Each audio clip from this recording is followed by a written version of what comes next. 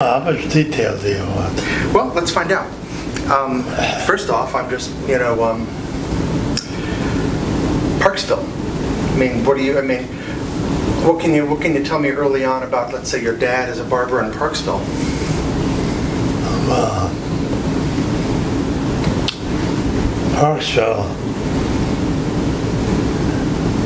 I wish I could say I remember a hell of a lot, but not really. The first thing that really struck me was when Sender died, believe it or not. I was in the kitchen. I was being dressed. That was the warm room in, in the house because we had a coal stove there. And I was being dressed on the chair. I guess I was wearing the long underwear. My mother was dressing me. And lo and behold, we had no phone. But we got a telegram delivered somehow. And it was the notice that Sender had died. And my mother just passed out on the floor. That was her brother? That was my father's brother. Father's brother, okay. He was the youngest. There was he and Hyman, which is Milton's father, and Sender was the youngest. And, uh, well, she was on the floor, and eventually somebody came and took care of things. I really don't know what happened.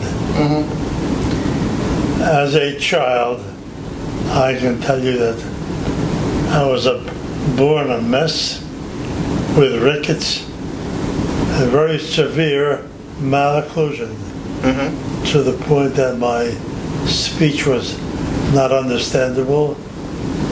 And for a while, I was considered to be the village idiot. And uh, we were living in Parksville. My dad had the barber shop in a little building next door. And it got to the point where there were no longer enough winter inhabitants to make a living. So at the age of about five, we moved to the Bronx, near Bronx Park. And I was sent to a speech therapy class in a neighboring school and learned how to speak. And I was intelligible, but not too good. Fortunately, a friend of my brother, Mo, who was a dentist, and he said malocclusion very severely, and unless it's straightened out, the speech will never be intelligible. They gave me speech therapy in school. I went to an orthodontist in Manhattan for a few years, wore braces, hurt like the devil, and lo and behold, my speech wasn't great, but it was intelligible. I went rapidly through the school system in Florida, in uh, In Parksville. Oh, in Parksville, okay. and uh, I must have gone there for a year or a half year. It was a two-room schoolhouse. One room was one to four, the other was five to eight. And those that were in session were moved up to the front seat, and the rest remained in the back. And uh,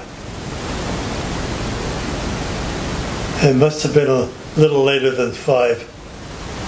I went to uh, New York because then we had a new schoolroom, also a two-room school system, but a little nicer class, a brick building, and we didn't get hit with a ruler every time we didn't behave. And uh, in a two-room schoolhouse, if you don't go to sleep, you learn more than the first grade and so on. And when we finally did go to New York City, it had to be after, probably be about six age. I went to a local school and uh, they advanced me through the school system. I don't know why, but I guess from a so-called village idiot, I developed into a fairly good student.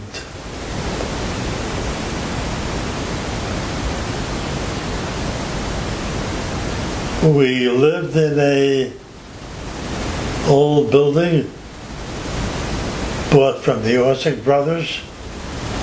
We had uh, in partial, we had a pump outside, which we kept primed. We would get our water, and we had a two-seat outhouse out there. And of course, we we had a uh,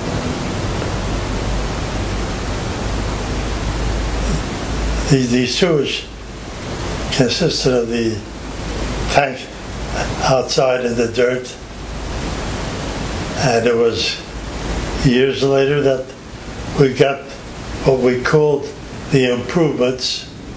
We had running water. We had a stove in the kitchen, a coal stove. It took care of the heat through the whole house, including the bedrooms upstairs. There was a chimney going through, and that gave a little heat to the bedrooms. But we also used a hot water bottle, several, in the beds mm-hmm. before we got in into the bed at night. And we all used quilts because it was cold there. The heat of the house was provided by the coal. The cooking was done on the stove. And the prime seat in the kitchen was a rocking chair near the stove where I learned to read. And I remember my mother, who was illiterate, was overjoyed that I, by the fact that I was reading. Anyhow, as I had related before, the population diminished to the point where it was not possible to make a living.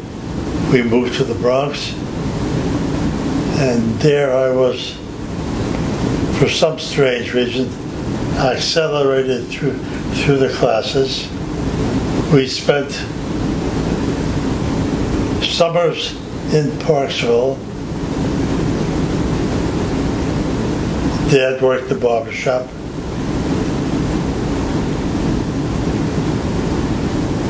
He taught Celia to do manicuring and some hair work.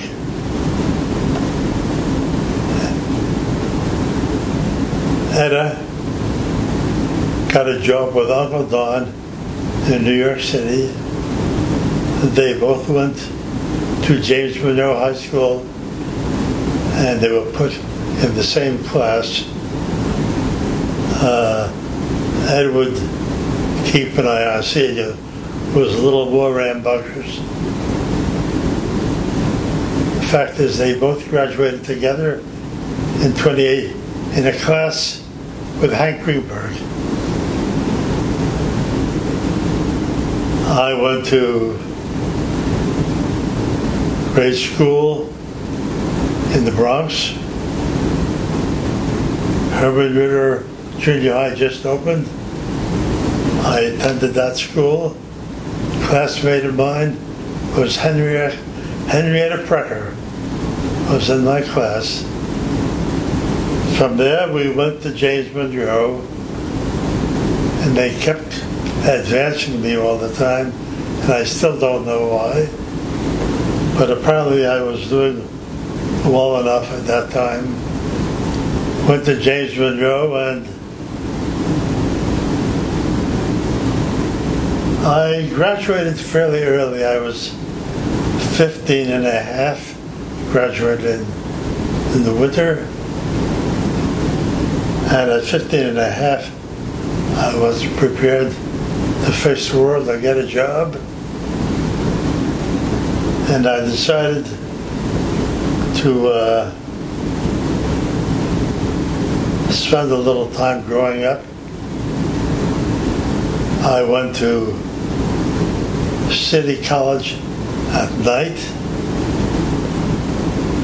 And then I went to barber school, learned some barbering, and did that in Parksville for a couple of years in the summertime.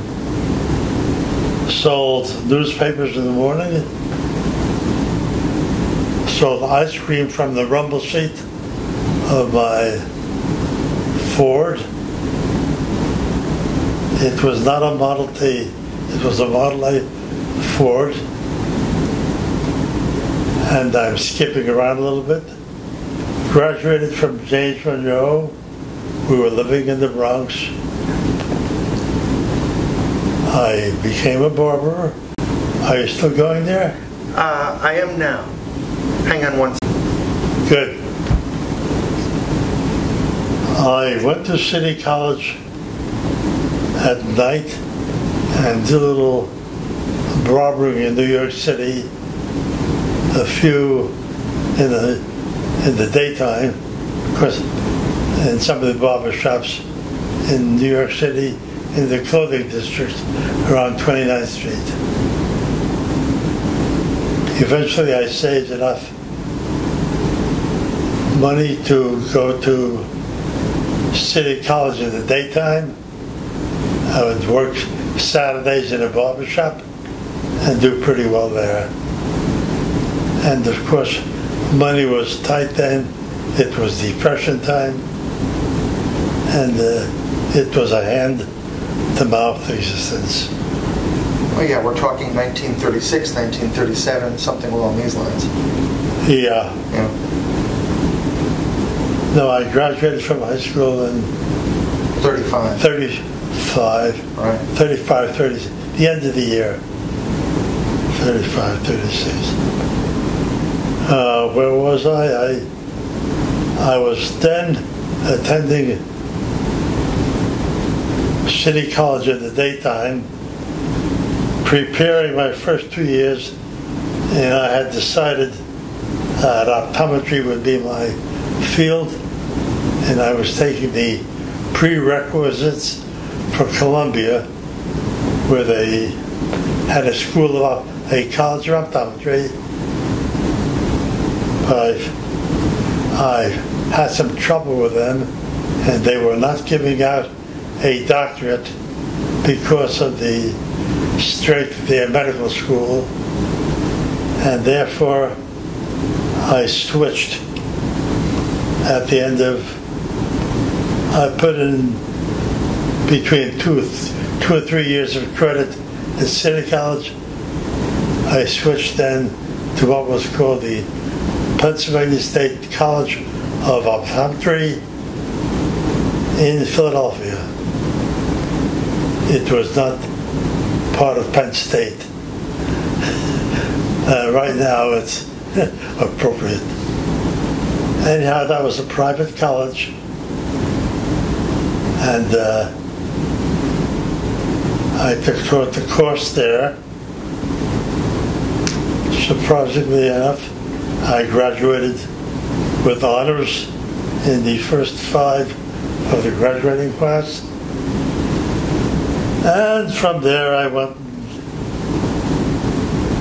took a job on New York City, Canal Street, and in uh, Jersey City at a jewelry store temporarily until I could get enough money to buy some equipment and uh, either open my own place or buy an existing practice. And it worked that way. I left New Jersey, worked with a chain for a few years. I managed the chain and I found a practice for sale in Connecticut. It was a rundown practice. The man was pretty much of a failure,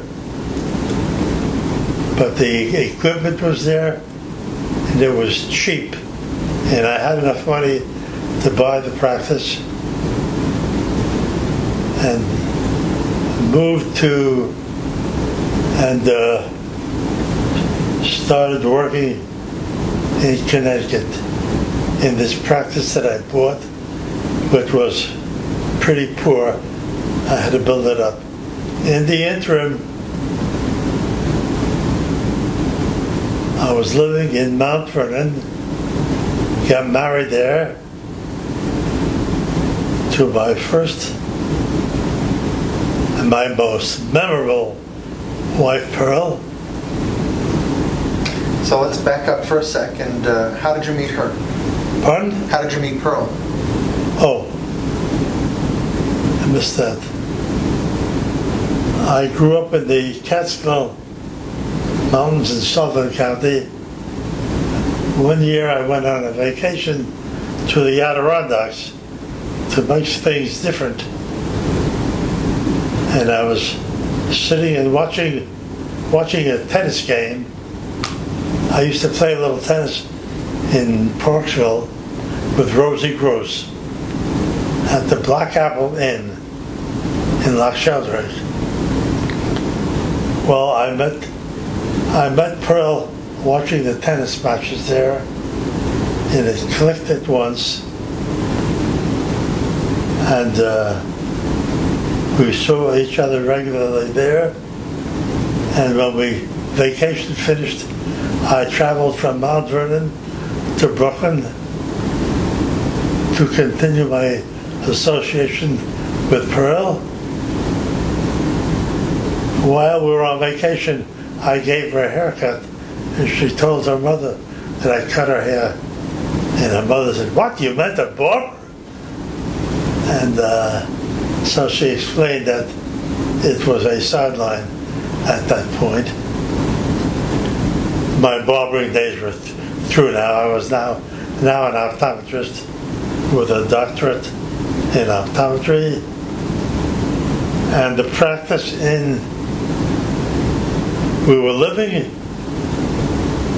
we were living in Mount Vernon. I was traveling up to Norwalk, and the practice was right near the railroad station, fortunately. And sure, slowly and gradually, I was able to build up the practice. It was on uh, 42 North Main Street, opposite the City Hall, upstairs in a, in a small office building. And from there, Hang on one second. right, Okay. Actually, I want to back up. I'm going to back up a little bit. Tell me a little bit about uh, Mo as a kid. Mo. Tell me when you're ready. Oh, it's, it's running. Mo, Mo was my big brother. He looked after me. And uh, Mo went directly to City College from James. No, he graduated from Liberty High. Liberty High. He went directly to City College. Spent his time there. He went the days and he graduated normally and at that time Uh, He got the, he got the first degree in the family, right? first degree in the family. How about as a, how about as a kid? Um, what was, what was he like as a kid? Well, he was my big brother. He had his own, he had his own bunch. He was hanging out, and I was ha- hanging out with the kids. Mhm. But he had, he had his ice cream thing in the summer.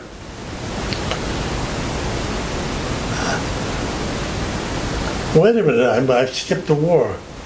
Okay, we can, we can, we can back up because, um, well, let's see, because how did you, uh, how did you end up getting involved with World War II? Well, that's it. At the end of my, at the end of year one at the School of Optometry, the war had broken out. We were on the list for the services. In my school, decided then, rather than have the the four-year term for, for the doctorate in the normal seasons, they were going to go right through the summer and continue straight on through. Well, that meant getting up enough money for tuition. I was, I was at private school now, and the money was uh, a little tight then. So I I left I left the college then. I left the optometry school, worked in the barber shop, and then found out that there was a place if I enlisted in the army, I could get into the signal corps and work on radar, which they needed badly. And uh, that was pretty much my area. I was doing fairly well in math and so on. And I I enlisted in the army in where was it? Oh yeah, Well, someplace along the along the Hudson River. Uh, it was a big city then. It's not put, not Port Jervis, but the other one on the Hudson River. Anyhow, Poughkeepsie? near there, Near them. near, near, Poughkeepsie, but further out to the river. I might, well, not important. I enlisted there, and they sent me to school in Troy, New York. And uh, the staff was mainly from RPI, and I spent a few months there, and a few months in New York City, six months in all, and I was a radar specialist.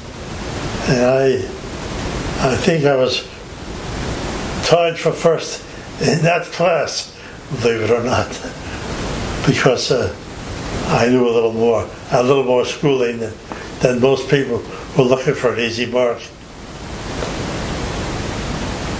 And from there, I went to.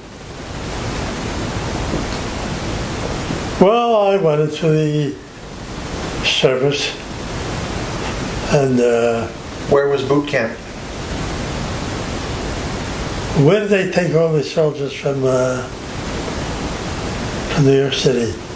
Boot camp was uh, New Jersey. Okay. Yeah. Boot camp was in New Jersey. We did our basic training there. I met Nat there. You didn't know Nat, did you? I don't think so. Nat was Sylvia Precker's husband. Hmm. Uh, but I did my basic training there and the 25 mile hike and so on.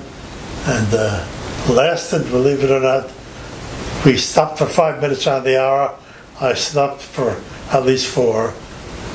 Oh, we made it. It was stupid of me to do it. I could have counted out that minute, but I didn't. And how did they get you over to Europe? Well, uh, from there, they sent me to Fort Monmouth.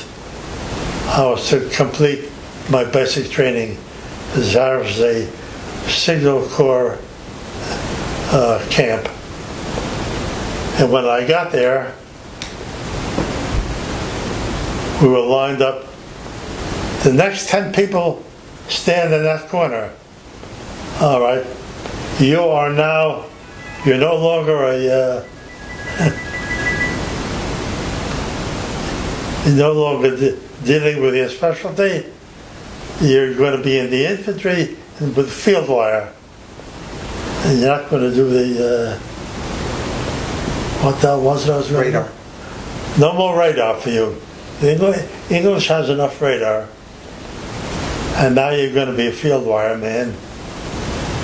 And uh, they didn't say we were going to do the invasion, but I knew it. And we were doing a basic training in field wire. And sure enough, uh, we had to go to Washington D.C. for to put on a show, an exhibition, uh, just for public display. And they needed somebody from from my from my uh, company. And since I was doing well scholastically, I got picked. So I went down, and sure enough, they needed somebody who uh, knew facsimile. Facsimile was the early predecessor to fax. We did it through wires. And I learned facsimile down there. I had a week of it or so at Fort Monmouth, and I went down there as a specialist. And I and I became a facsimile specialist. And then suddenly we went to a a camp near Pennsylvania. We call a re-embark an embarkment camp, and from there we went to uh, to New York, and the ship the ships were ready to take off. The Red Red Cross was there giving us notice, and the MPs were there with their guns to make sure nobody escaped. And we got on that old English tub. Uh, oh, it was a real. Uh, I'll think of the name as we, we go along. Anyhow, it was an old passenger ship, not enough to go a convoy. It was a little fast for the convoy, so we went along, but we were we were a sitting duck, and uh, it took us about ten days to get across. Luckily enough, I got to the bottom of the ship at the very end, and by the end of the by the end of the day, I was seasick enough to get into the hospital ship. And anytime I saw somebody coming nearby, I shut my eyes and went to sleep. I went most of the way across in the hospital ship. Didn't do much eating, but it was better than better than throwing up all the time. And I was pretty bad. We finally got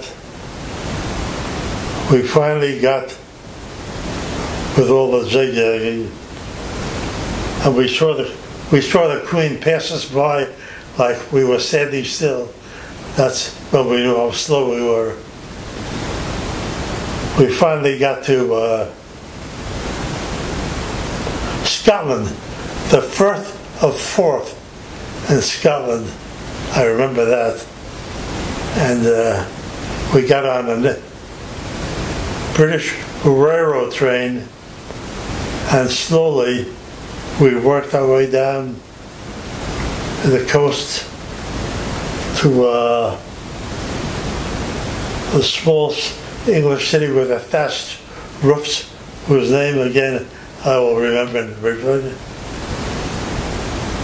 And on the way down, the train stopped because we were had nothing to eat.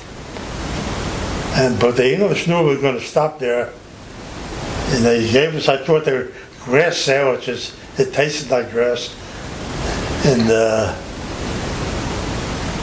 that got us finally to uh, our small stopping place, where they decided where they were going to send us. And finally, they sent me to a small, small, and I mean small, small town called Bere Alston. Where Okay. So you stopped in this small, small town. Bere Alston, and we were in a uh, Nissen hut. And fortunately, uh, I got I got a bunk not too far from the stove. We had a stove like this, and uh, that was our heat. And we couldn't make it through the night because it was too cold. And we all had a latrine break in another Nissen hut. We had to go out and get to the Nissen hut. And during the day, we didn't do much but a lot of exercise. We did PT with logs. Uh, you take these logs, throw them, marched, and uh, really didn't do much. The best part of it was after the evening chow time. The town was so small that they had narrow streets where they couldn't get two, two vehicles through there at the same time. is wide enough for one vehicle. The postman had a bike. But the best thing is we had a uh,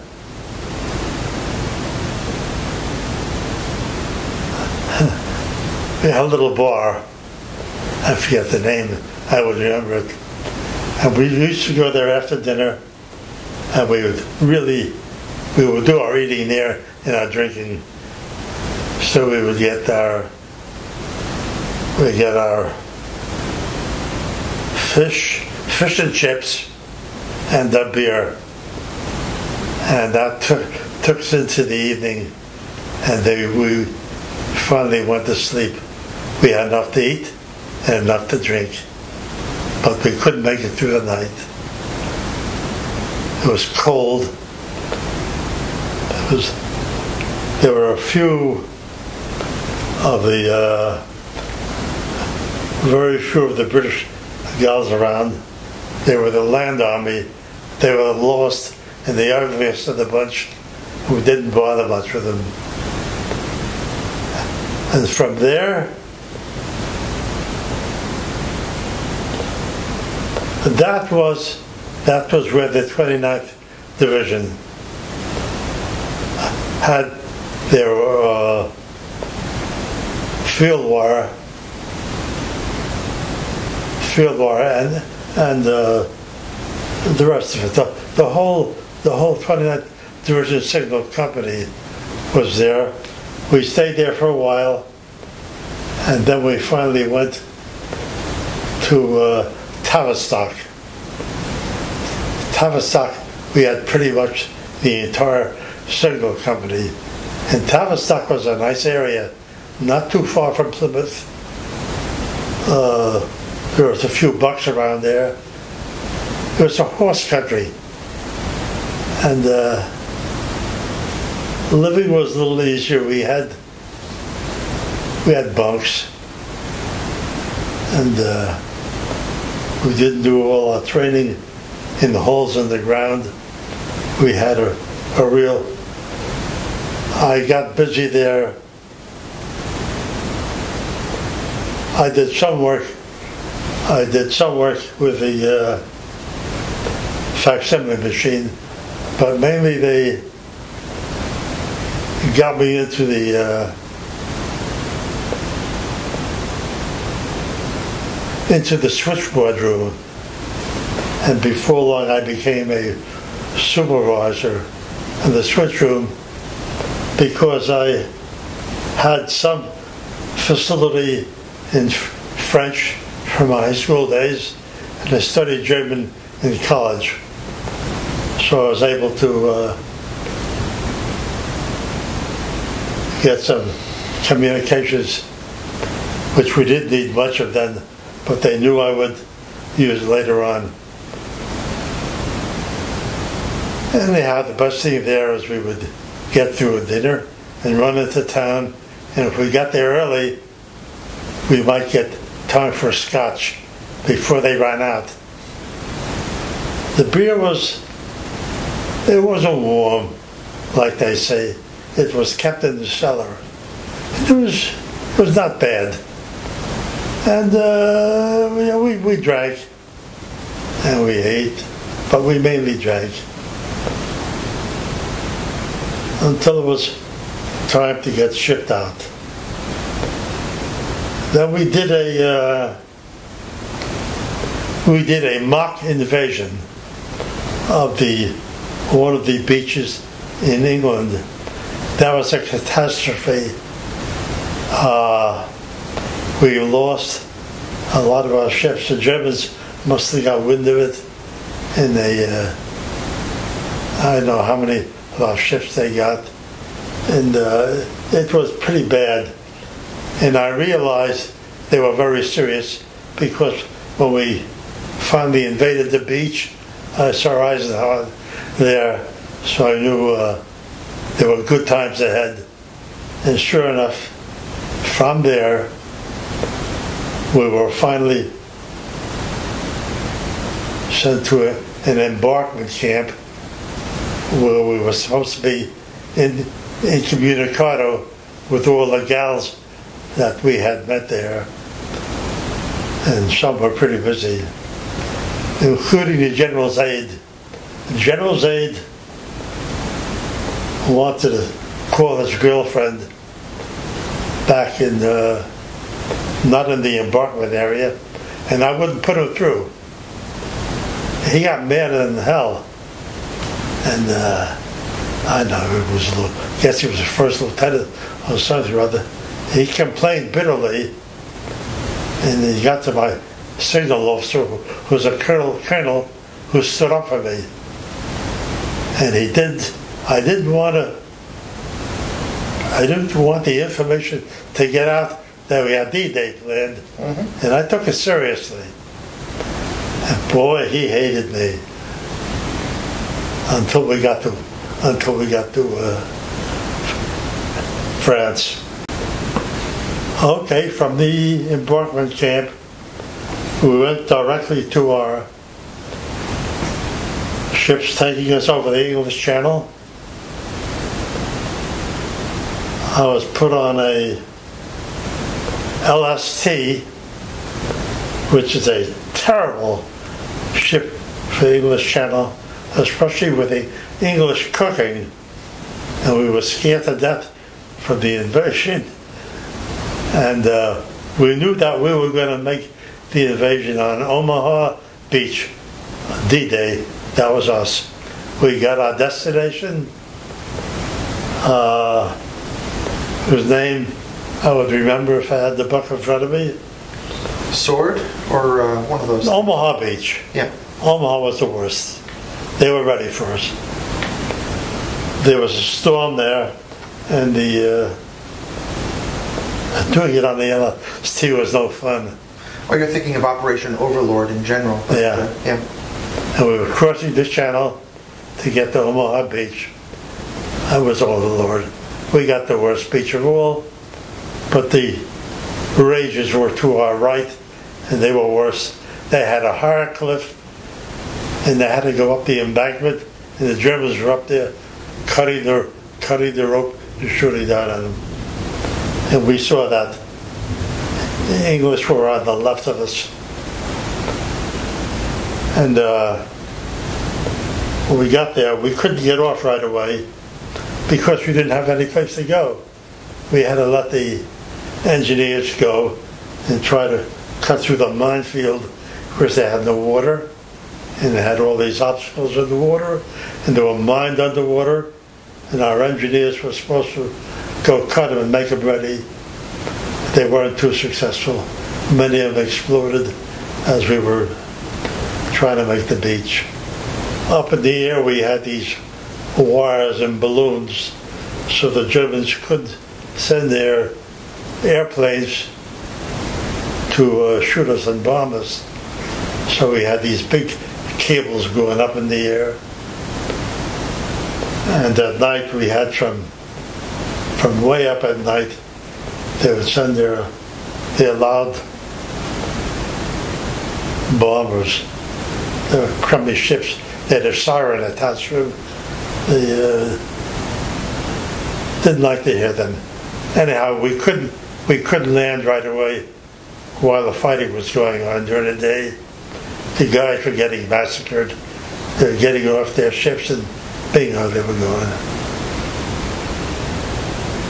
Uh, I didn't get on the beach until late at night. I got as far as up to the cliff, and there we stayed. And I was trying to dig a, dig a foxhole with a toy shovel. And the uh, the major was standing next to me. He was a major or something or other. He looked at me and said, I might borrow that. I said, You'll borrow what? and uh, that was the end of it. I had it to myself. But I was pretty skinny then. And uh, I dug down about this far. What were you doing while all of this was going on during the day? Waiting on the boat. We couldn't, we couldn't get off the boat. We, there was no room on us on the beach. As soon as we got our, our guns and our half tracks there, with their 88s, they were ready for them. They were in the cliffs, and they get, they kept knocking them out, one right after the next. We couldn't get anybody on the beach. We had these big guns from the battleships, but they were shooting way the hell over the beach, trying to keep the reinforcements from coming. Finally, the Signal Corps contacted the destroyers. They had five inch guns, and they will shoot them into the cliffs and got rid of the some of the Germans there who had their machine guns and their 88s well intoned there. And by the time we got rid of them, then we could get some dynamite. There's some question about how we got up to the top, but we blew a hole in the in the wall that they had put up, and we got above the cliff, and that's where we finally spent the night. And from there, we moved on. Were they able to bring uh, any wounded back to the ships while you were Yes, yes, and they brought some onto the ships while before we got off. We got off the LST down the ropes, and we were wearing the uh, chemical clothing, underwear, socks, everything. We went down on the ropes. So uh, let me see. We were talking about the. Uh, We were getting off. We were getting off the uh, LST, but we couldn't get in too too close naturally. But close enough so that when we let ourselves down the down the ropes into the water, water came up to about here, and I was tall enough so that uh, I held my gun up, and we had full pack, including the uh, gas mask and so on. So we were loaded. We were loaded with stuff. Fortunately, we got into the water. It wasn't over our heads, although some of our tanks that were supposed to swim in the water, I was sure they would go right under. They went to the bottom. Everybody, everybody was going in there. I guess they put too much stuff in and uh, too much weight. Poor bastards. Anyhow, we walked ashore and there was this one narrow path off to the left where we were able to get up up the cliff. They had managed that. Cota, General Cota was the, in charge of that. He was a nice guy. Not not our not our not Charlie Gerhardt, who was our general. He, he didn't come that day. Cota came. And we came up to the top, spent the night there. And then the next day we we kept working our way in because we were working our way in but very slowly. We didn't go very far. And we didn't get to the uh, to our first day's destination. It took us four or five days to get there. And uh, Reveerville, Reveerville Shore Mare, that was the name of it. It was a tiny little town, that was our destination. And so on. And uh, from then it was just moving along on the ground. What we were doing then is setting up communications for the general staff. And for a while I was fi- fixing up what we call the war room. The general liked to have all sorts of equipment in her, his room. And that wasn't bad. And uh, one time his phone wasn't working. And uh, nobody wanted to volunteer. So they picked out a Jew naturally. And uh, I get down there. It was easy to fix, nothing much to it. The general's aide was there. He looked daggers at me at first, but then uh, it was all right. I saw putting shoulder pads on his under his shirt when he was dressing, so he looked husky. Anyhow, anytime the general had trouble with his phone, he would call me. And that was that. But we generally made our way. Uh, and when we, when we made a forward move, we would go and set up a switchboard again, and we had to set up communications for all the colonels. They all had to have their lines coming into the switchboard, and we had uh, the group running lines down from the general's headquarters to the regiment. The regiment had theirs to, oh God, they were worse. They were worse off than we were. We were we were running from the from the general's area, which was not too bad. But a few of them, the guys were sent out to set up a uh, switchboard and communications, and we didn't have the area yet. So those guys were killed or captured. Some were captured. One was a Jewish fellow. I never thought I'd see him again, but I did. But he was a sergeant. And uh, the Germans treated the uh, sergeants and so on a little better. I was that time, that time I was a corporal. I was sergeant when I got to Germany. When did you become a sergeant? I, I became a T4. Uh, three stripes and a T, and then I became a, uh, a, a regular sergeant. And my uh, my field wire lieutenant didn't like me much. I didn't like him either. He cut my email to ribbons, son of a bitch. But I got even with him. He wanted to leave early, get discharged early. And the uh, the signal officer was a friend of mine because I helped him out when the war was over.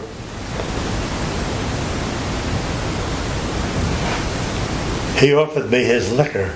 He didn't drink, and he said, "I'll make you a, uh, I'll, I'll give you, a, I'll make you an officer right here. I'll make you an officer in the field." And I said, "Would I have to remain in the army?" He said, "Yes," and I said, "No," and that was the end of it. He still gave me his liquor because another outfit and somebody who was a technical sergeant wanted to take over the, the switchboard. And uh, we were communicating with the Germans through that switchboard.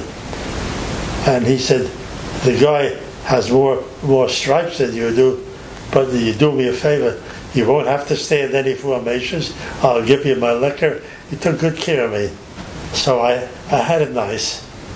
And I picked out see Jascha Heifetz. And I saw that German, Marlene Dietrich. So those were my little rewards for supervising the communications. Uh, what kind of uh, direct firefights did you end up in? St. Lo was the worst. And maybe, maybe, St. Lo was the worst. They almost got killed there. I told you they were, we were, we were bombing them. We couldn't get to them. They, they had it locked tight. They knew if we got there, we'd go all the way up to the, to the river. So All what the happened, roads. What happened at St. Lo? St. Lo, they put their best troops up there, including Max Shelley and their regular troops. We couldn't budge them. We couldn't budge them. That was a strong point. They knew if we got there, we would roll. We had all the roads going across Germany, so they were stubborn. So we sent our, our bombers, our big bombers, up there to bomb them. And we did. But the only problem was we put up a smoke screen for a target and the wind was blowing towards us. And uh, until we got in touch with them to stop, uh, we lost one of our generals there. And uh, and my my foxhole was bouncing and the slugs were falling down. It wasn't funny. Anyhow, we got out of there and and they started across and we we were with uh, General Patton at that juncture. We were glad to get rid of him. We went over to free the uh, submarine, the submarine thing up on uh, Brittany, was it? I forget where the hell it was. Anyhow, they, we couldn't bomb them. They were way, way underneath. We couldn't bomb them. We had to go in and take it. And that was a that was a tough one. And they defended it fiercely. And uh, they were they were shelling us incessantly. And I would I would never go out to to lunch because they they they, they would shoot all their guns at us while we were at chow time. So I was living on salamis that they were sending from here. And they came all moldy, and I put them over the fire and burned up some of them old made it. I wasn't the fast eater. The fast eaters, I envied them, yeah. So anyhow, that was that was terrible. That was as bad as How long did that go on? that went on for a couple months. Hmm. We had a hard. They were defending that fiercely because that's where that's where their submarines. That was their main submarine place, and the submarines were intercepting our ships. It was well defended, and we had a hell of a time getting in there. And we had to get in there and it was well defended. They really defended that well. And uh, we got shelled all out there. That was bad. And they were doing it in the pattern. And we could tell when the pattern, pattern was coming to us. And along the way, they were shelling us in the fields with their 88s. And uh, fortunately, I picked a spot but uh, there was an Irish kid from the Bronx. We had a two-man foxhole. He said, "No, that's on a corner. They're going to hit that spot surely. Let's get out in the middle." And we we took. his advice, and they hit my spot head on. Wow. He was going to come to visit me, but he died, his wife died. Wife is Mary. Oh boy. Anyhow, after that, we went through the truck through Paris. We stopped there for a minute. And uh, I probably told you that the truckload was for heating up our ranches, and the little man with the beret came over. It's supposed to be in Yiddish, and I was the only one who. Okay. Then we went up through Belgium, slept in a school on a wooden floor. That was a treat. That was a treat. Went up to Holland, couldn't dig any foxholes because the water level was too high, surrounded. And we stayed in Holland for quite a while before we went into Germany. We went into Germany, that was bad. Germany was bad. It was getting into the winter. And we were going way the hell up north. What the, the name of the place? Oh, shit. Uh, it was like St. Louis was down south. It was a strong point up north. Nobody had ever broken through that before. None of the wars. We had to get through there because St. Louis we had the southern route, not the southern route, but the southern flank of ours. And up here on the north, it was on the river.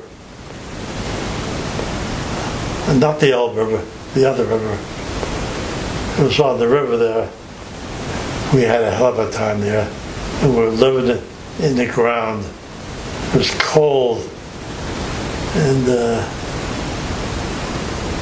the, uh, the Israeli sent us a general.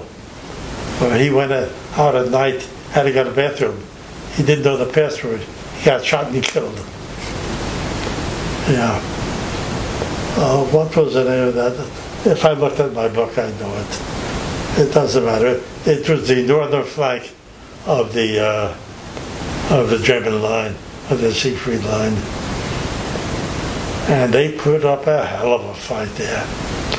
We took a lot of casualties, and we were freezing. It was cold. It was way up north. Just just below us No, it wasn't then. It was later on. We finally, after months, we finally got through there.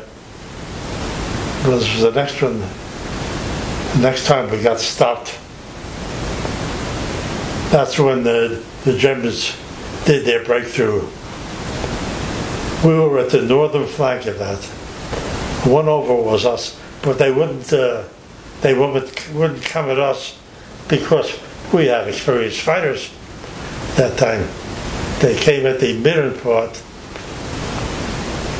with that cooks and bakers and uh, they didn't arm. They went through them like cheesecake. The guys that were sent to uh, ASTP, which they were going to send me to to become physicians, those guys were pulled out. Anybody to uh, put up something to slow them down. Eventually the weather turned. We slowed them down and we took it back. That was the end. But Patton came up from Italy. He did a good job on that. That was the best thing he did. And shortly after that, Patton was dead. And the word was that our troops got him. Whether it's true or not, I don't know. But Patton saved those Hohenzollern horses from. And once the uh, once we went over the Elbe, we met the Russians. Uh, we settled down in a town Mönchengladbach. That was the home of Ge- Goebbels had his castle there, and we had Jewish services, and uh, it was broadcast back to the states In his castle. in his castle. Yeah, A nice Shabbat dinner in Goebbels' house? no, No? no, no. We went back to our usual crap, but the the fellow who holds the Torah came from Texas, and he came east one year. He looked me up in uh, Florida, and uh, he had it printed in his uh, newspaper back in Texas. I have a copy of it here, someplace in the, my uh, file kit. All right, why don't we, uh... All right. I believe... Yeah, looks like I'm actually rolling right now. Um, now, I'm pretty sure we had left off with... Oh. I'm going to hope that this is running okay. Um, I am pretty sure we left off... I'm going to adjust this just.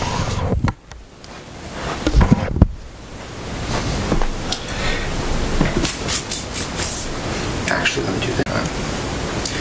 I think we left off where you were talking about you were being shelled, and a friend of yours, you know, a, a buddy of yours, had decided you needed to move your foxhole, and it was a damn good thing you did. Oh yeah, that was Pat Burns. He lived in the Bronx, and uh, he was a laborer with railroad, and uh, you know he, didn't get along with. it. And when we were discharged, we stopped off at his house first. His idea was of entertainment was going to the pub downstairs and drinking beer. He was about to visit me in my in Norwalk. His wife died before he did, and he died.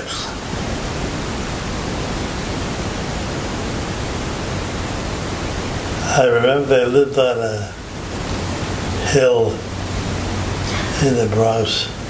Was this in France where that was going on? No, That was already in Germany? that was after we were discharged. No, I'm not talking about that. I'm talking about after you were being shelled. That was Oh, oh, in that France was- Germany? That was in Germany. That was in Germany. Okay. In Germany, so it may still have been in France because we had those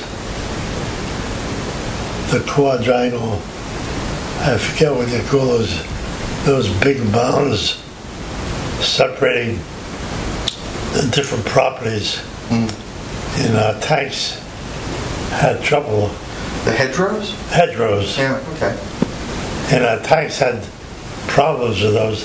They'd have to go up and down until a farm boy, a farm boy from out in the Midwest, realized that you put those goddamn cutters in the in the front of the tank, and it just leveled them right up.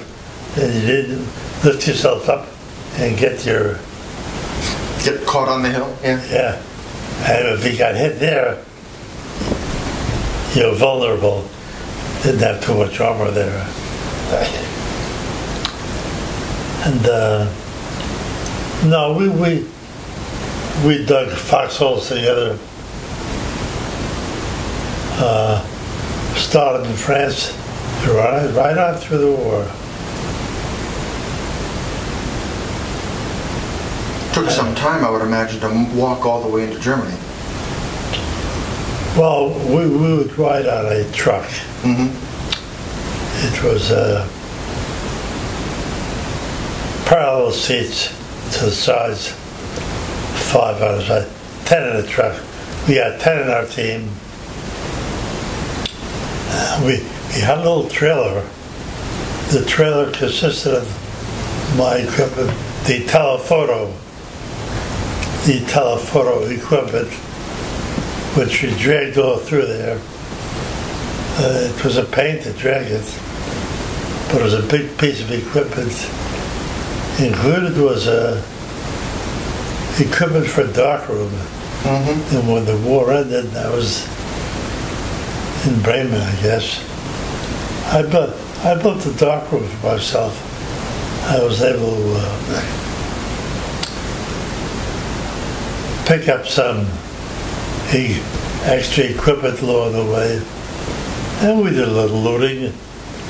I'd come to a photographer shop, make sure it wasn't connected with a bomb someplace, because they would leave those behind. I was very, very careful with that. And I used to do, Okay. and without a good fixture, the pictures faded after a while. Yeah. And uh, anyhow, I had some fun with it because after the war was over, we, we were stationed in Bremen for a few months. And uh, being able to speak German, I was in charge of a, uh, a recreation.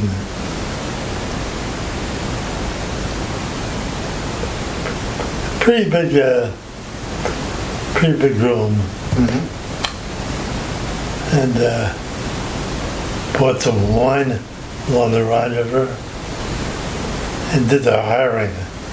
The hiring was fun because if they were too well dressed or too good looking, I figured they were Nazis. They couldn't get Too well taken care of, huh? couldn't get a job. No, they couldn't pass me.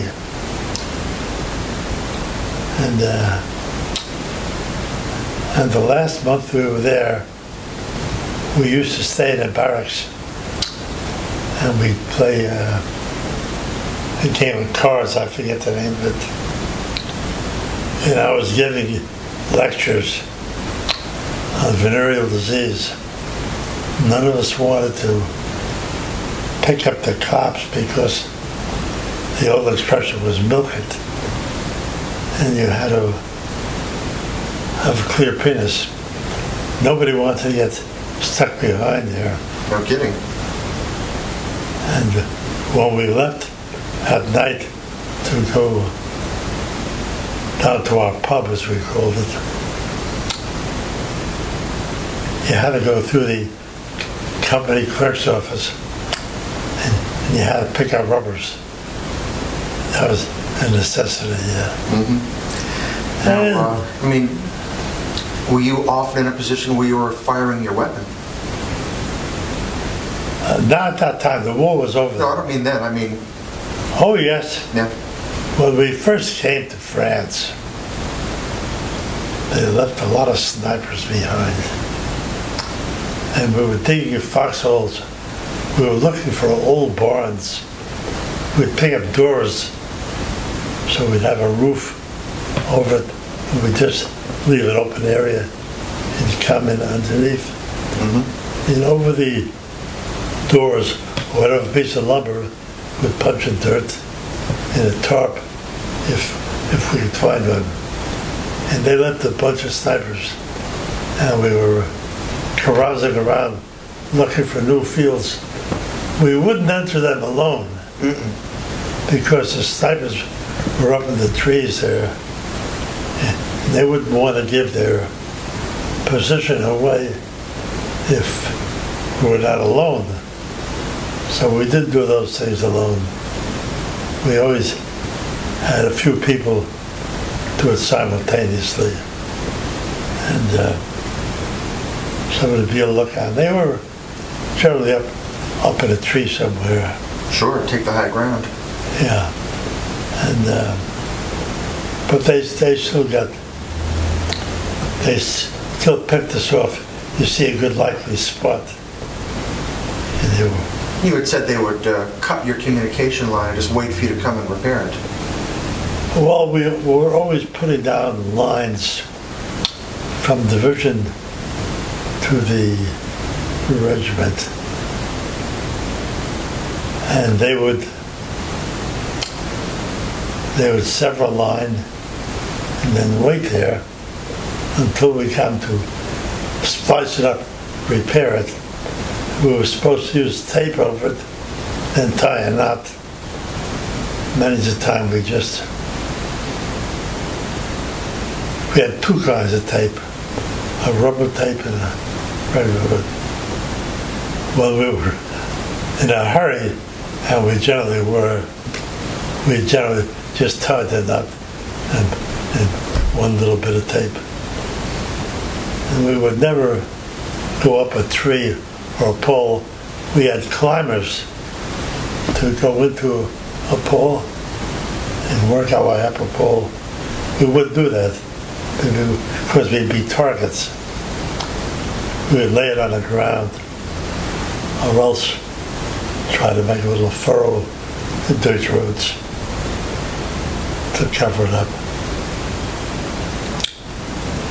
And the other bad thing was setting up a new uh, a PC, they called it, a new headquarters. They would send us out ahead to a certain position, and we would be the first ones there.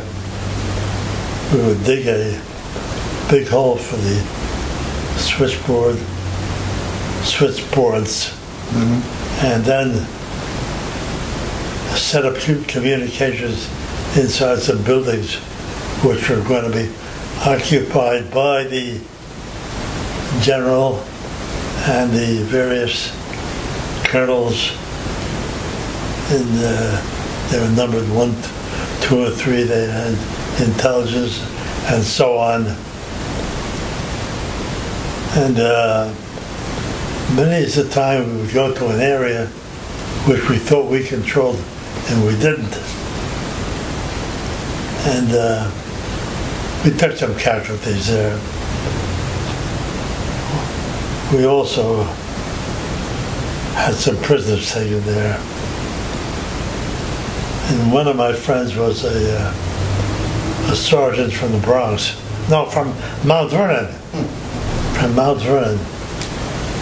He was Jewish. I never thought I'd see him again. And we had a reunion when the war was over. And I was surprised to see him. I, I thought you were dead. the hell of a thing to say. He probably thought so too. Yeah. But it turned out he was a non-com. In the German army, the non-coms were treated better than the privates and so on. So it wasn't a terrible experience, and he came back alive. So that was good. The uh, the other times that we got to cross some bodies of water. And they, they had that keyed in pretty well.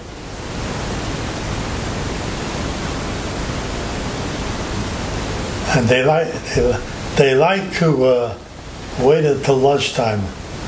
We would go out in a little lodge area to have our lunch. But then everybody get out there. Okay. And uh, one of the bad experiences, we found the cellar. And we were, were very good there. We had a little stove there.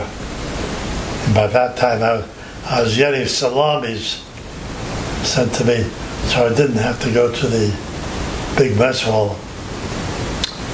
And sure enough, they set up a bunch of mortars just outside our cellar. And the mortars are pretty loud and they don't go very far. And they cued in on those who were getting fed up with fire on that. And I was glad when they got out of there. After we after we got through St. Lo, which was the time that our bombers were fooled by the smoke, Oh, yes, it blew over you. in blew over us, we lost a general there. And um, I think it was our signal company that finally contacted the B-24s and B-17s and let them know that the target of smoke was drifting our way and they had, hadn't accounted us for that. They were bombing us. And uh, With the terrible name Friendly Fire, which is not very friendly. it wasn't friendly, no. No.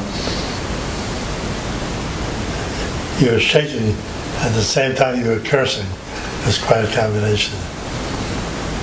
But after St. Lo, which we leveled, and I mentioned that previously, that was our strong point.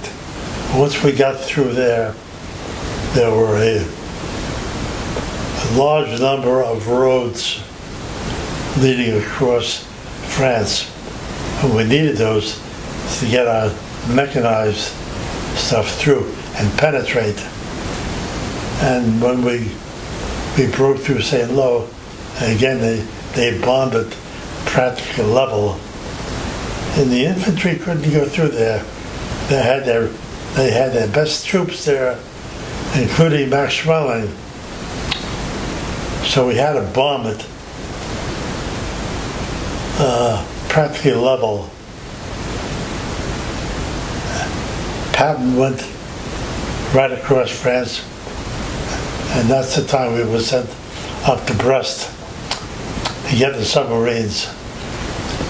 But they were so far underneath that none of our none of our armaments could get through, not even the delayed fuses, and we had to actually take it by hand, which was costly. And uh, that was, I think, when we got through with that, our division was pretty well beat up. We had taken a lot of casualties, and they had new stuff. Uh, we were not the first ones in some of the other areas. We, we came behind. Besides which, we didn't have the manpower anymore. And uh, we was slogging along. It, it- we were moving pretty well. We were moving pretty well. We went all the way up from the Brest. We went all the way up. We stopped in Paris. That's where I met my Parisian friend who spoke to me in Yiddish.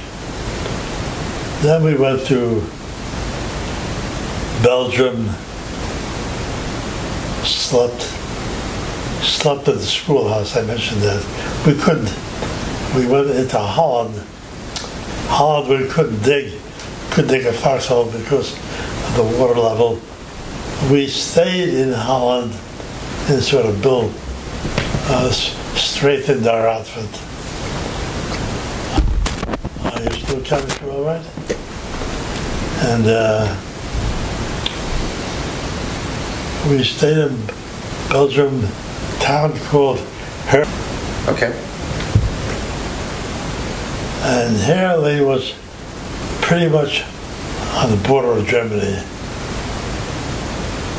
And uh, once we got strengthened again, we went through into Germany. And it was getting to be the German winter. It was pretty far north. We went way north, all the way through from this point on.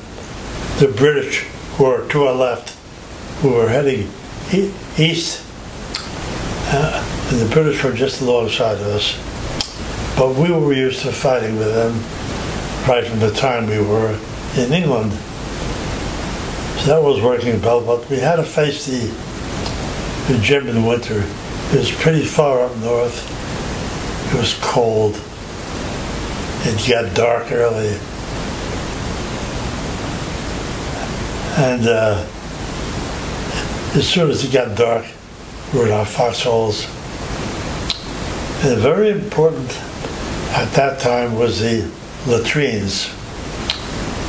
Because you try to get rid of everything before you got in the foxhole. And you you made it your business to talk to somebody else and mention the code name for the night because if you had to you know to get get out of there during the night and go to the bathroom it didn't you didn't know the word for that night they changed it every day you're in trouble and we lost an Israeli general at that time I probably Yeah, think I mentioned mentioned that, that, yeah. yeah. that was a shame he was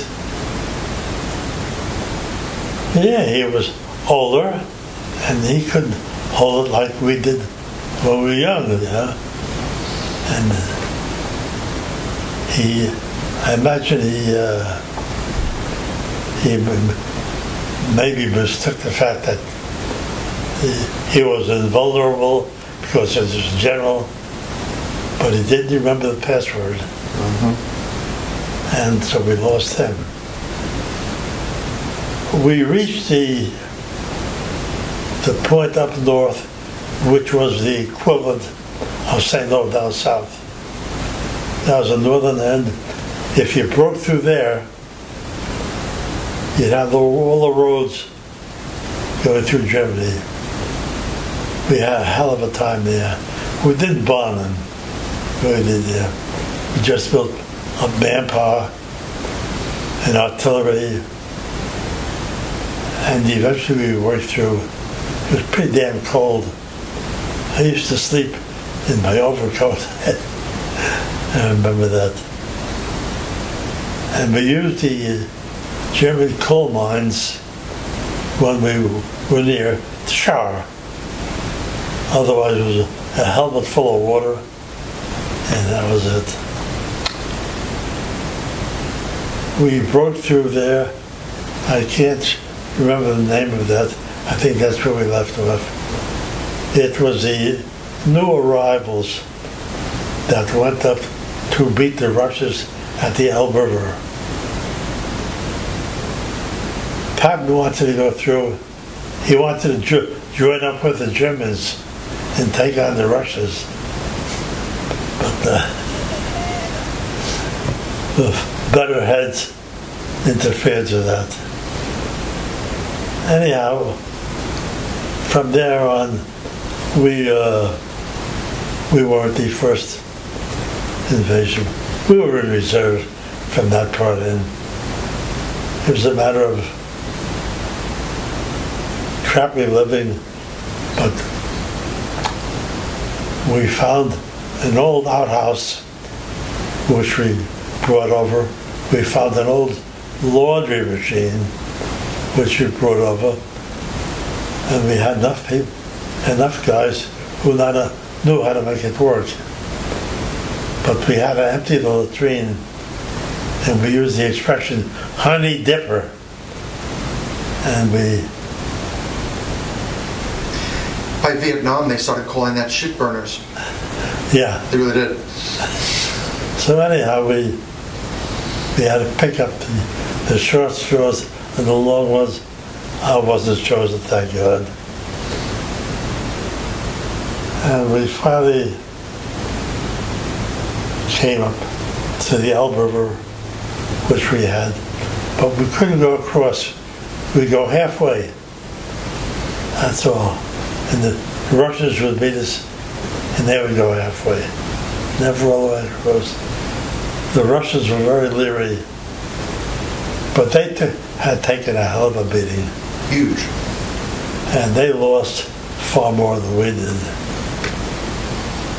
And uh, if it weren't for them, I don't know that we could have done what we did Well, yeah, forced them to fight on two fronts. because they had,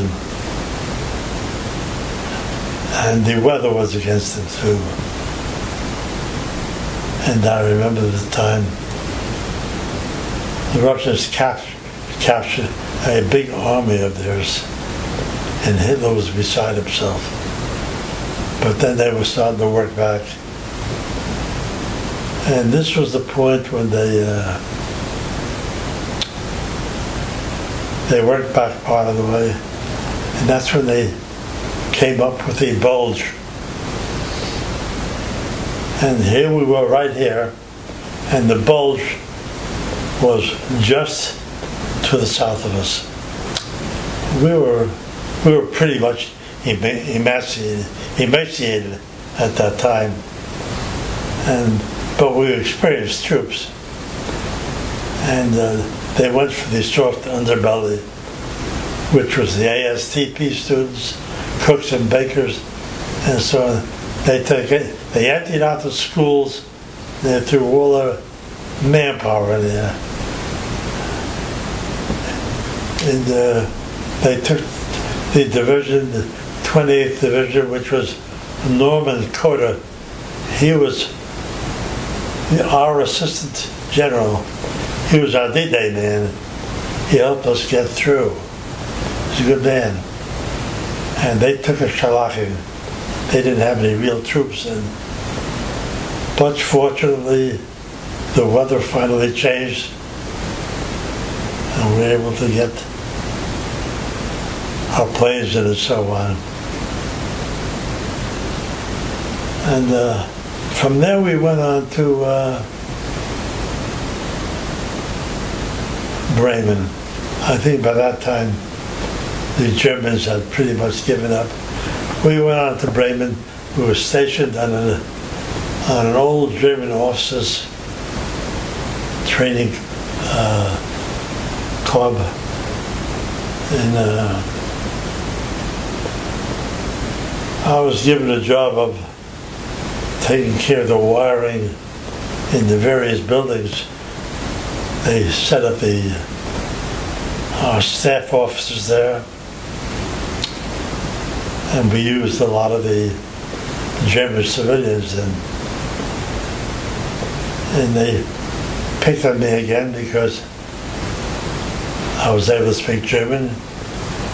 And I didn't go easy on them. I'm pretty tough on them. And uh, we, we remained in Bremen, and that's the time I, I ran into I ran into Red Holzman. Red Holzman was a basketball player from City College. We took a German course together, and. Uh, our general wanted to have the best basketball team in the European theater, and he did. We won the title. He reminds you of the uh, the guy who wanted to do football in the MASH. Mm-hmm. Yeah. So we, I ran into him. Uh, that was nice. He remembered me from the German class, and he found a place where we could get a molten milk. and that was nice. And we went into Bremen. Bremen was pretty easy because the war was over then. And uh, it was a matter of time. And then when they finally, we were at Bremen when the, they let the, the two cities of Japan go, with the atom bombs, and there was not one dissent that I heard because of the fact that many of us, especially people like me, unmarried, no children, were destined to go to Japan. And uh, even though I, I saw a lot of the time there, they picked out the married ones, the ones with children, the ones with dependents, and, and I was remaining. But then I knew we weren't going to Japan. It was a matter of coming on home. And they sent us up to Bremerhaven, which is about as far north as you can get. That was cold. And we were waiting for our ship to come in. It was another ship very much like the, the Aquitania that we took over and we saw the new troops coming in. And they were on a, uh, a large ship as well. And they looked at us and we looked at them. And now damn, they were all on one side of the boat. The boat wasn't riding level, it was tipping over. I, I never saw that before.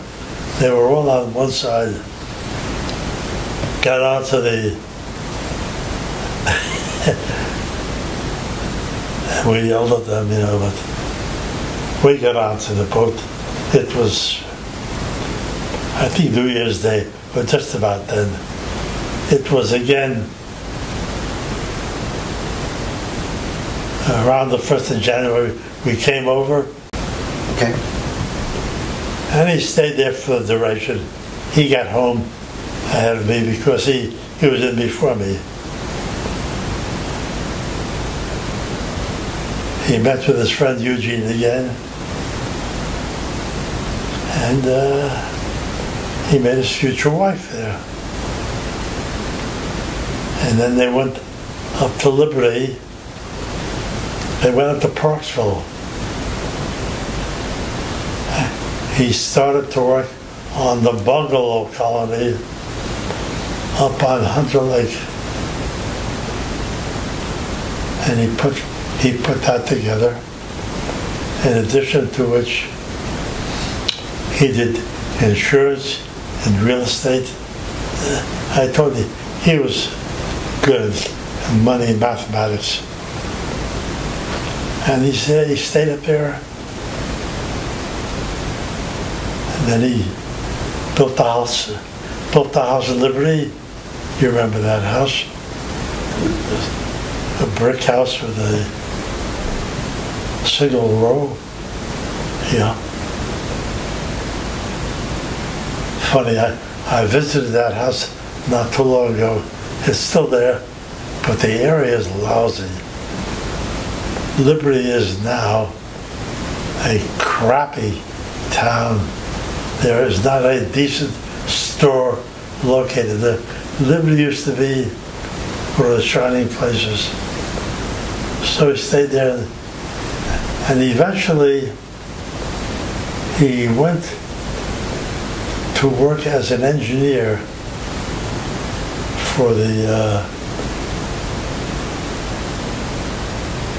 for the water. The water was drawn from these uh, the water was drawn from uh, west of Parksville, Callicoon, that way. Had some big dams out there, and they supplied the water.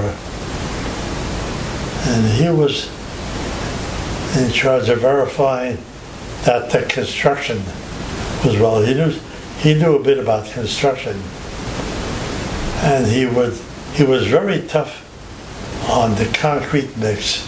It had to be exactly so, and uh, he'd make him do it over again because the water depended. on it. It was critical, and they tried to convince him, no way.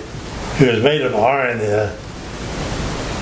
And finally, finally, after the thing was done, they wanted to get rid of him. so they gave him a job in New York. He was driving from Liberty to New York to to work. He did that for a while until he finally retired. And uh, when he did, he was selling off the bungalows piece by piece. And uh, that's just when the, he developed a colon cancer.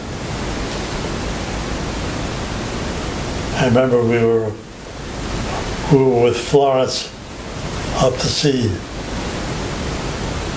I forget forget whose baby it was. Maybe it was Stewart's. I don't know. Somebody had a baby up in uh,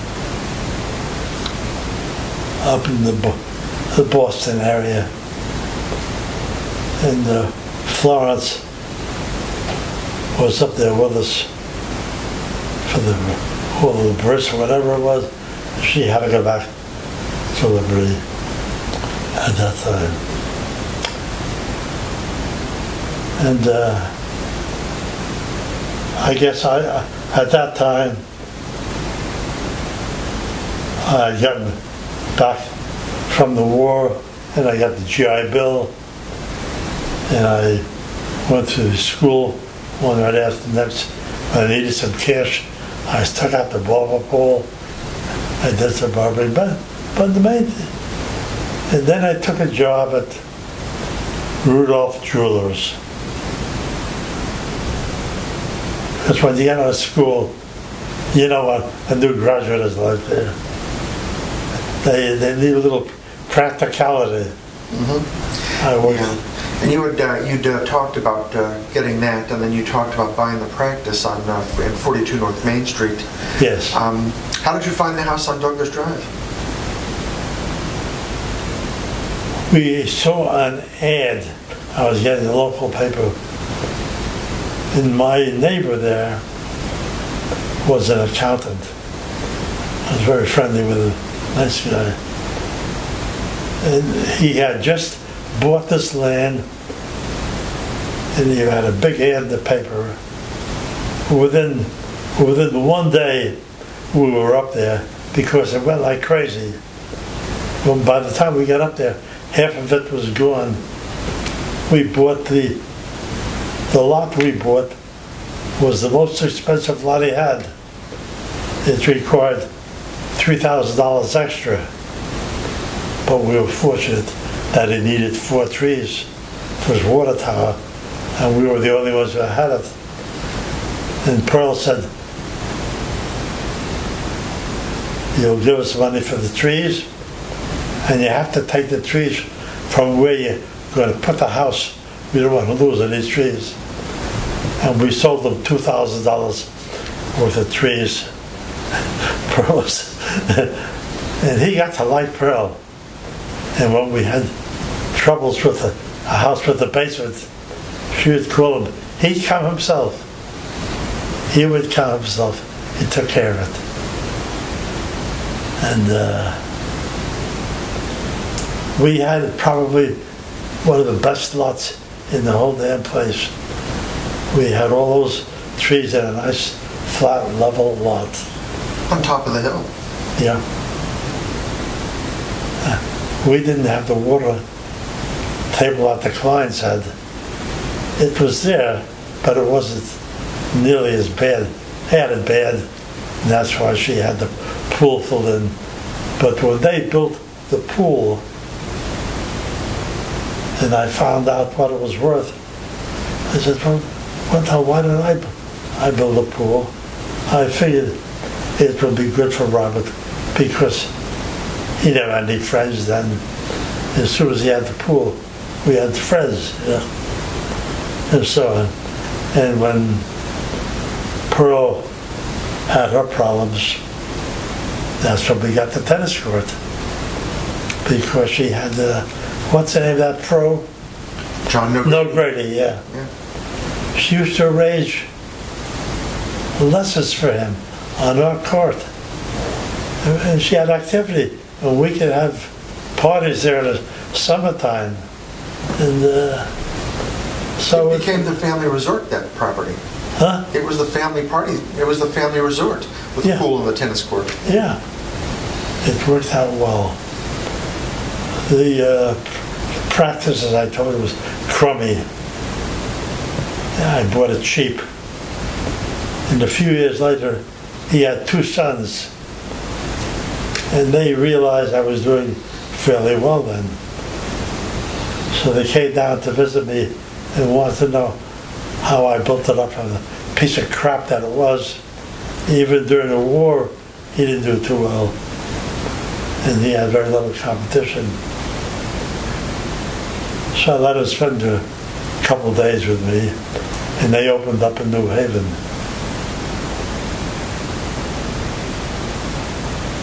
And then from there, I was at, old- it was a walk-up building. The original 42 North Main was a walk-up right across the street from City Hall. That's the one they had the guy who was deaf, and when he didn't want to hear you, he wouldn't have his hearing aid on. And then when Bob Katz put up the other building at 20 North Main, I moved over. They had an elevator, and they had more room. It, it laid out well, privacy, and I did nicely there. And when Pearl got pretty bad along the way, I'm about to uh, I'm about to run out of uh, run out of space here, so I'm going to stop for a moment.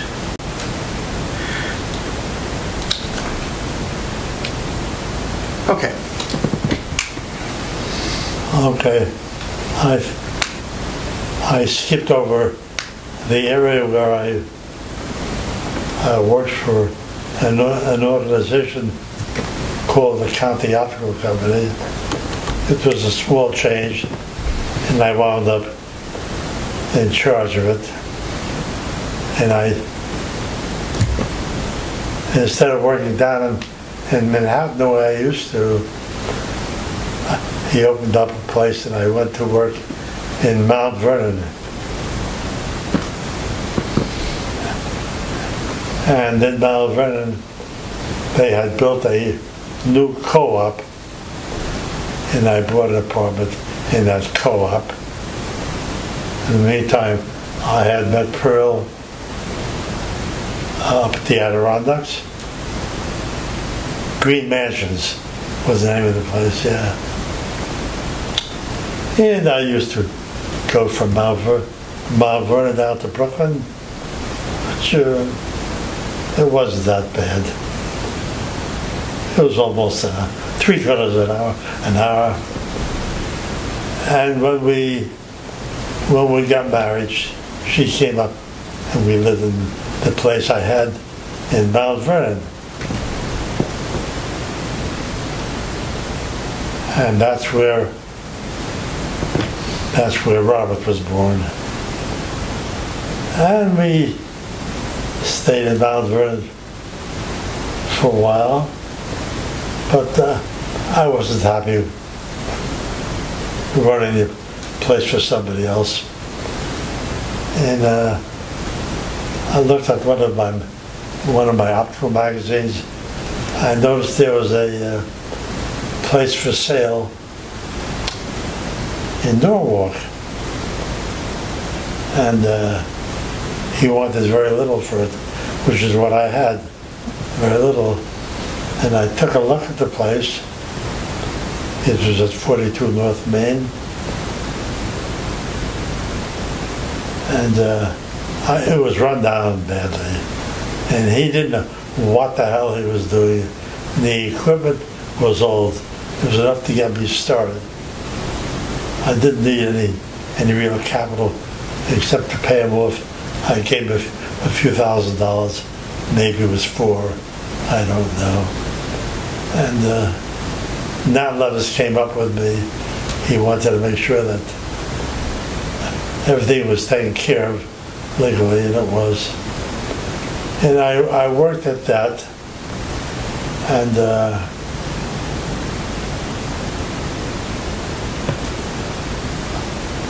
I used to do my, my own shop work there. We had all the shop equipment. I used to have to use a cutter, chip it. I had a flat stone, and I put on the bevel by hand, and we used those metal things to for shapers. And uh, gradually I built it up. I uh, I lowered my price some so that I attracted new people. As soon as I started to get people, I was able to raise it up. And I stayed there until uh, Bob Katz built the other building, 20 North Main, with the elevator and uh, Yeah. the space I could spread out. How did you meet uh, Hannah? Hannah was a patient of mine when I was in Mount Vernon. And even when I uh, moved up here, she came up here to have her eyes examined. But that, that was it. I think we went to dinner maybe two times. Once she invited me to her house, I met her parents. Her mother became a patient. Then uh, when when Pearl wasn't was no longer feeling well, that's when I got my first young man. But he was drafted. When he was drafted, and I had that bum, we had the lawsuit, and you remember when you went to the courtroom with me. And the year ended, and I decided he wasn't the quality that I wanted. And he, had, he and Stuart tried to tell me that he was a partner. and uh, you see what I got. Yeah, because I think Teague was the first one that was drafted. T, Don, Don T. And then uh, Grossbard or Grossman? Grossbard. Grossbard was the second one. Yeah. And then it became Marty Arkin was the final. Yeah, well, it happened that shortly after I got rid of Grossbard, Marty walked in. And he looked like he had a nice personality. He looked a, a lot better than Grossbard did. And I, I told him I'd take him on these terms, that he would buy into,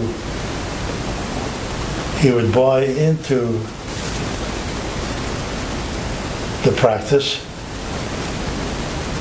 instead of me paying him so have en- enough money to pay me. I took him on a, on a salary differential for the 10 years he would work on a salary. Would be naturally a lot less than mine.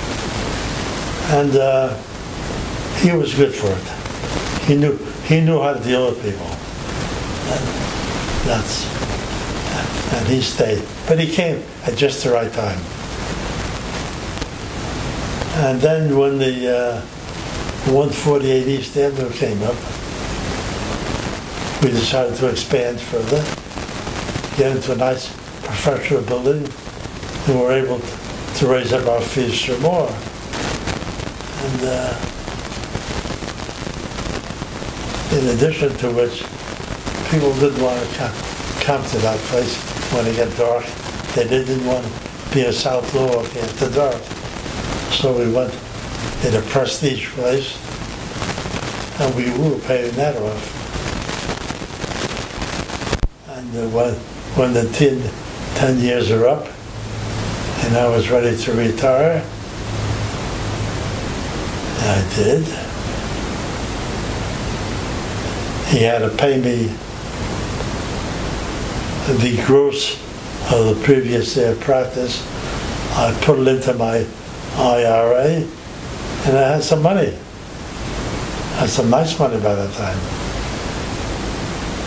And you continued to own the condo that the practice was in. And you owned the condo that that was in for a while more.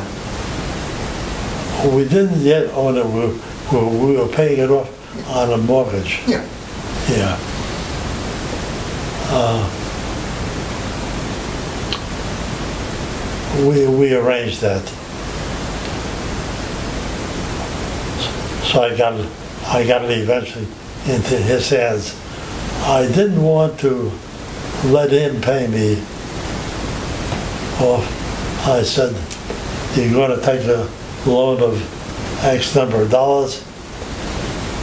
See what it'll cost you at the bank. Take that same amount. See what it'll cost you at the bank. And what I want to get in one piece. I don't want you to pay me by the month. And that's what we did. It was like a reverse mortgage I thing. I put in my IRA, and when, when I invested it, there were good times in the market. There was good times in the bonds, good times in stocks. And uh, Yeah, I built that up quite nicely. And, uh,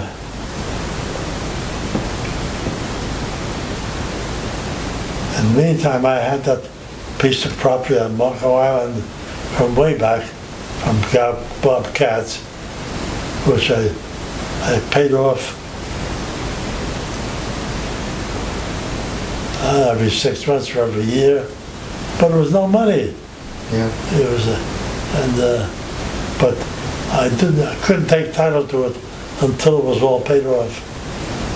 It was paid off. That was nice. And how did you end up in Delray Beach?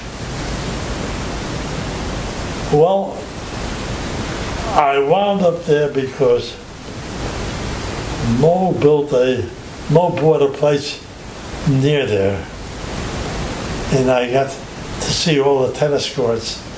At that time, I was a tennis buff. And also, Etta and Joe had rented a place where I am now. They had spent a year or two there, and I, I, I liked the setup, and I, I rented a place for the year, and uh, looked to see if there was anything I liked, and I didn't. I was ready to come back when one of the one of the brokers I played tennis with, he was giving me bullshit. It was all crap. Finally, he had this one I'm in now, and I saw it. Though, so the ground level, it had the extra bedroom, it had the extra room that I needed. That's when I got it, and it's still one of the best of the condos down uh, there. It's a good area. It's a little out of the way, but we don't have any any robberies there. People can't find their way out of there. It's and uh, so that's good. And